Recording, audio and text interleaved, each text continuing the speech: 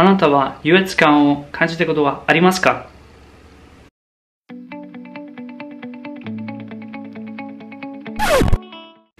シェフの皆さん、おはようございます。本日みの紹介したいのは、優越感が欠ける。それは、対人恐怖症の原因の一つ。では、どうして優越感は大事かというと、我々の初めの、つまり一番最初の脳なんですけれども、その人間の反応をコントロールする脳というのの部分ですけれども、それがまあ、優越感を得るというのはちゃんとプログラムされているということです。でももし我々の感情性とかはあまりそこそこに当てはまらないとここでは劣等感が増す。でその劣等感のせいで何が起こるかというと自分の大嫌い自己嫌悪とか自分も実際はそれを15年間以上でずっと抱いてたりしたんですけれどもどうしてかというと、それはずっといじめられて、対人恐怖症で内向で、もう自殺未遂に至るまでに行っただから、でも、ある日、僕のコーチは僕を自己啓発というの世界に誘ったから、僕はその紹介を取って、そしてその世界に入ったわけ。そしてどうやってこういう最高というのものを感じるようにするかというと、まあ、ちょっと3つの、あの、ティップがあります。3つのステップがあります。で、最初のね、提案なんですけれども、何かするかというと、あの、インカーネーションですね。もしあの知らなかったら、あのネット上であのトニー・ロビンスさんのインカーネーションを探してください。検索してください。で彼はねあの自分のアファメーションと自分の体でつまりこれは自分のあの頭だけじゃなくて安価されてだけじゃなくて自分の初めのだけにはや無意識的に安価するだけじゃなくて自分の体中に全体に安価されてるからこそもっと効果的だと思いますでこれは大体ね、鏡の前でこのアファメーション、つまりインカネーションというやつをしたりします。でそれをすると何か上がるかというと、一番大事のは、言うだけじゃなくて、実際に自分が今、億万長者というのものを感じる。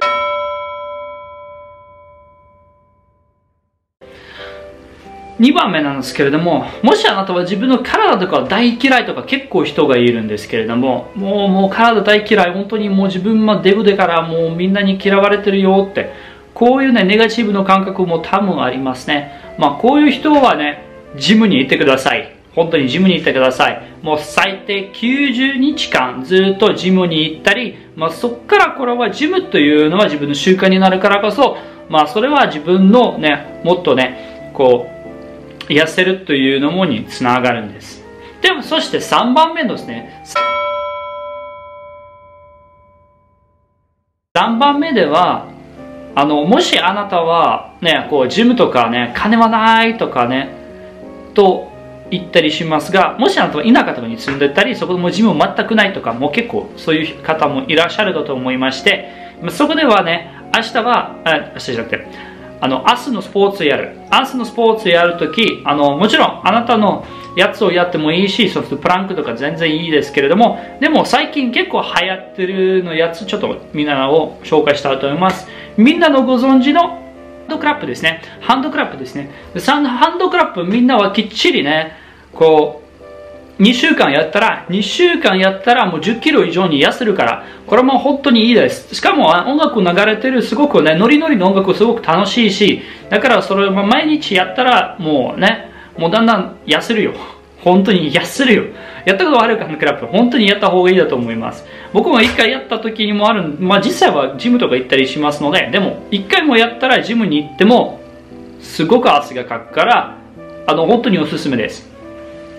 では、レシーバーの皆さん、僕はどこからその情報を手に入れたかというと、前に言ったんですけれども、これは自分の、コーチは自分のね、こういう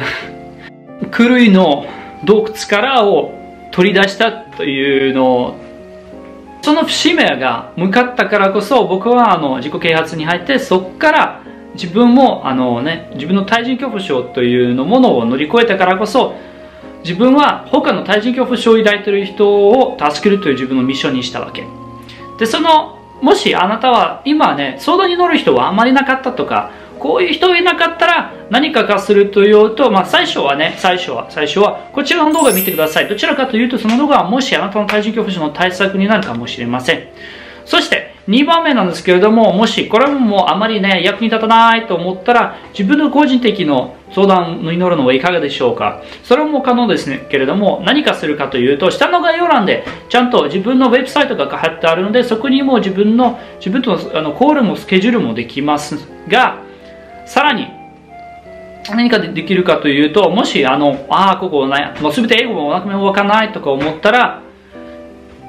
普通に自分に、あの、工事メッセージを押しても結構です。ではレシープの皆さん、僕はこちらの動画、毎日アップロードしますので、だから、あの、明日の、あの、あ明日の動画なんですけども、自分のセックスアピールですね、あまり足りないというのは、あこれも対人恐怖症というのものにつながるというのをテーマになります。